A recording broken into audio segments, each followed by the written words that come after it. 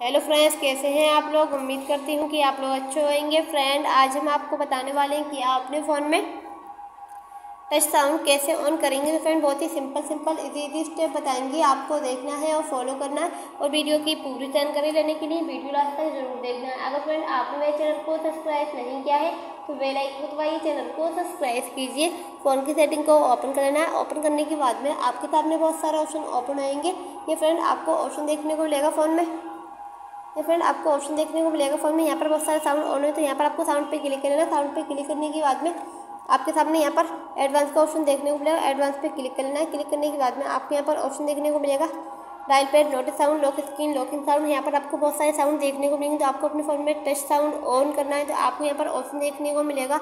Touch sound तो आपको यहाँ पर ऑफ़ है तो यहाँ से आप अपने फ़ोन में ऑन कर लेंगे ऑन करने के बाद में यहाँ पर देखिए, मेरे फ़ोन में टच साउंड ऑफ़ ऑन हो चुका तो इसी प्रकार आप अपने फ़ोन में टच साउंड ऑन करेंगे। आई होप अगर आपको मेरी वीडियो अच्छी लगी हो गाइज़ तो वीडियो को शेयर करें लाइक करें चैनल पर नए हो फ्रेंड तो चैनल को सब्सक्राइब करें। मिलते हैं अगली नेक्स्ट वीडियो में। तब तक के लिए बब्बा एंड टेक केयर